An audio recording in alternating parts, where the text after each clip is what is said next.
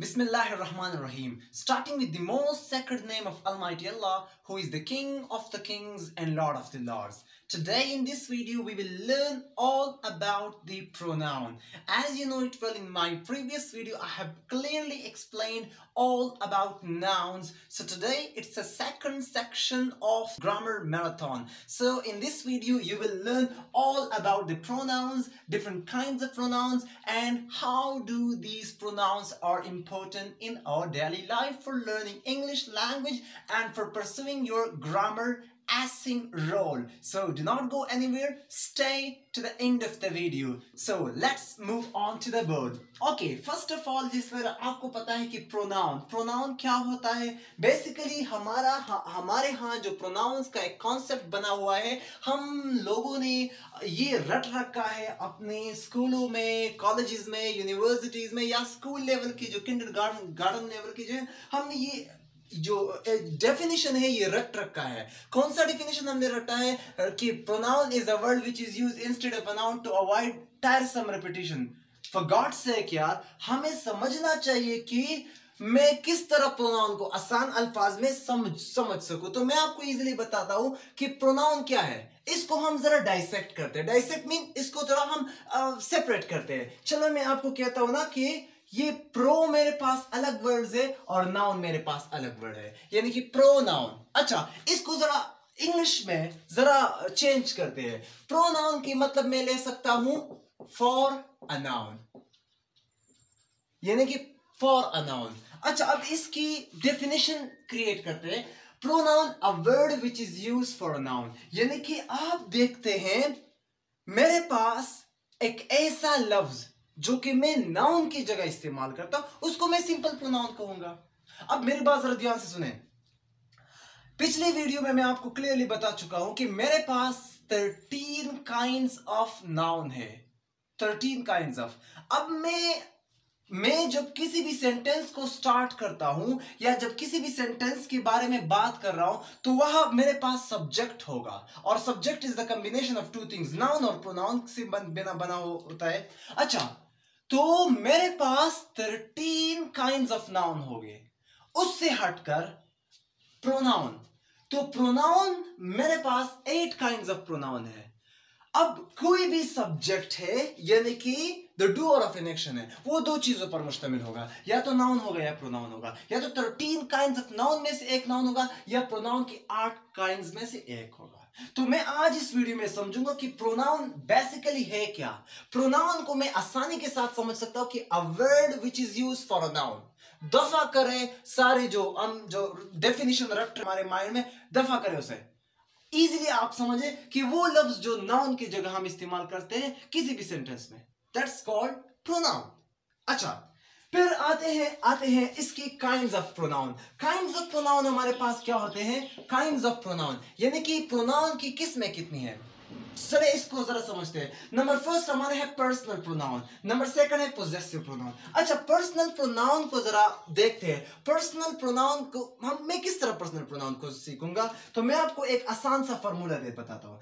Personal pronoun की मानी है पर्सनल मीन जाती, जो चीज़ जाति हो, यानी कि प्राइवेट हो।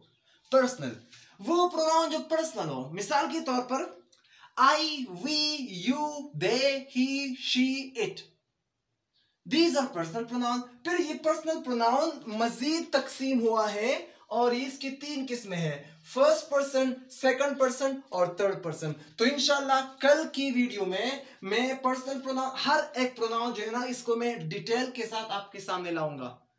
तो अभी सिर्फ़ मैं आपको एक ओवरव्यू दे रहा हूँ। पर्सनल प्रोनाउन हमारे पास तीन पर्सन पर मुश्तमिल है। फ़र्स्ट पर्सन जिसमें आई और वी है। सेकंड पर्सन जिसमें यू है। तो third person he she it और दे है।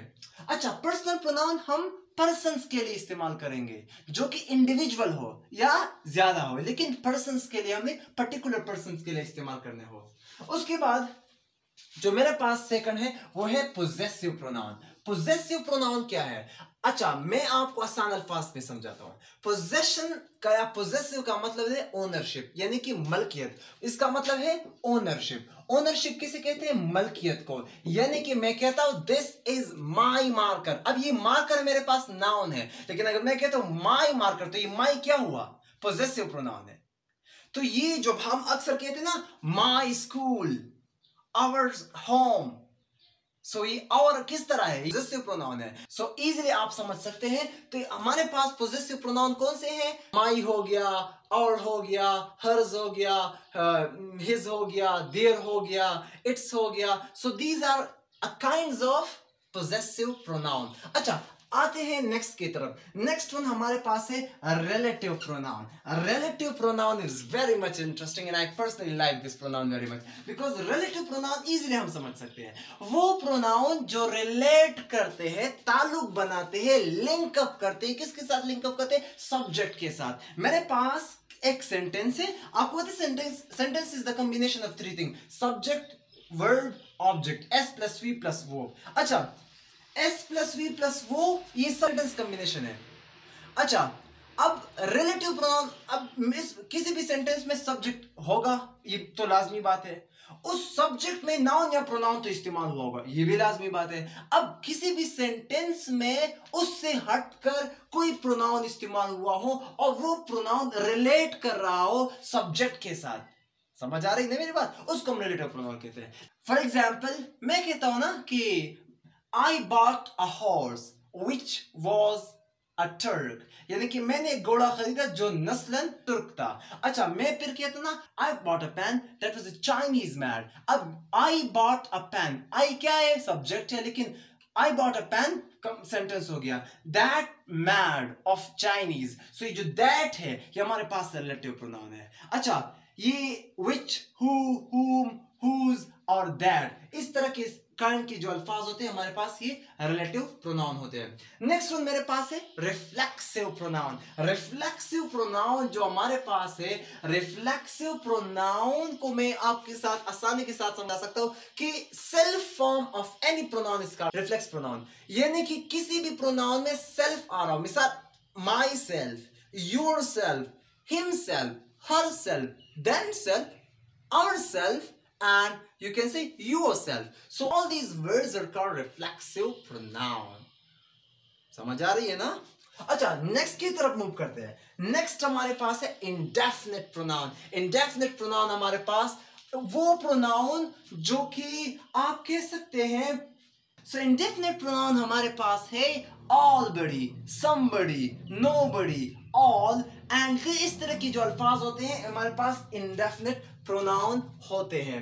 नेक्स्ट वन हमारे पास है interrogative pronoun interrogative pronoun is all about those pronoun which are going to introduce question raise question question हमें रेज करना होगा। मिसाल के तौर पर मैं कहता हूँ what is the time by your watch तो व्हाट हमारे पास क्या हुआ? ये इनरोगेटिव mm, प्रोनाउन हो गया। हु आर यू हु क्या हुआ प्रोनाउन है इनोरागेटिव प्रोनाउन है okay when will you come when ये इनोरागेटिव प्रोनाउन हो गया what why when where who whose whom and these are called interrogative pronoun these are called interrogative pronoun okay next one हमारे पास है second last second last हमारे पास है demonstrative pronoun demonstrative pronoun क्या होते हैं demonstrative pronoun हर वो pronoun होते हैं जो कि point out करते हैं क्या point out करता है point out करता है मैं कहता ना this class that car these boys those birds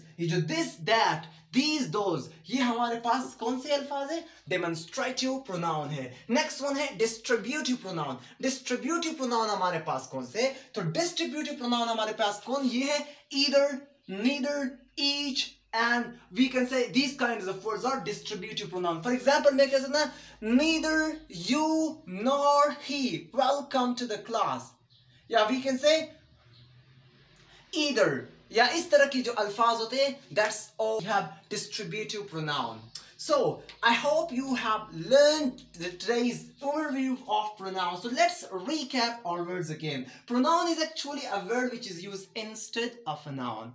यानी कि वो लफ्ज जो noun की जगह हम इस्तेमाल करते हैं. And then I discussed the eight kinds of pronoun. Number one was personal pronoun. The next was possessive pronoun. Next one relative pronoun. Then next one reflexive. Next one indefinite. Next one interrogative. Next one demonstrative. And the last one is distributive pronoun. So I hope you have understood today's lecture. By the way, if you have any questions in your mind, so you can write those questions in the comment box.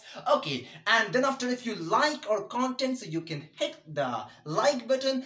And if you are cooperating with us, you can subscribe our YouTube channel and hit the bell icon for more interesting kinds of content like this. So, Allah Hafiz, God bless you all, God bless Pakistan, Zindabad. Thank you so much.